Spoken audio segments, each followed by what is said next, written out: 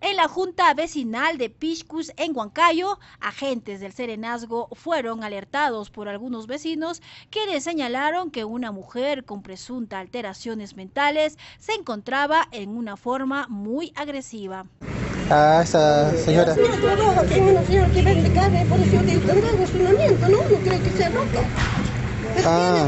aquí a los niños, está peleando. Allá se pone, eso está en peligro, la- es un peligro para... Justamente antes de, a la puerta de, me, soy empujada. Ah, a su puerta de usted Y a la puerta de allá de la tienda, de donde está sentada ella. Ah, ya, ya, ya. Sí. Ya, este se le va a apoyar, ¿ya, Sanito? Una vecina identificada como Juana Flores, de 75 años, alertó a los agentes sobre la presencia de esta mujer, quien se encontraba empujando la puerta de su predio y amenazaba a los transeúntes. Rachita, es agresiva.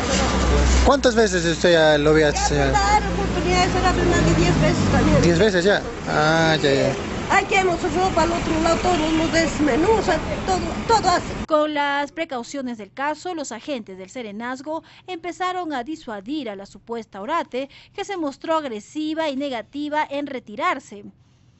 Sin embargo, en una oportuna intervención, los serenos lograron retirarla de la zona para salvaguardar la seguridad de los vecinos y transeúntes. Puta, qué miedo.